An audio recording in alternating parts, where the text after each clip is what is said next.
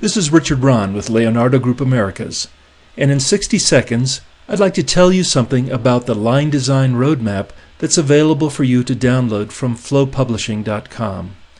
Lean is not about simply finding and eliminating waste, and although we have a bias for action, it's not about, as Nike says, just doing it. There is a step by step process that has been discovered and tested over the years that will both speed up the pace of change and also reduce the risks associated with that change. We've documented that process into a series of flowcharts, which we call lean roadmaps.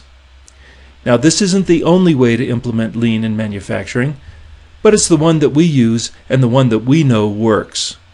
So go to Flow Publishing and look for the category Lean Roadmaps.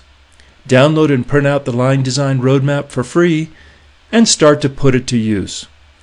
I've included our Leonardo Group catalog in the download as well.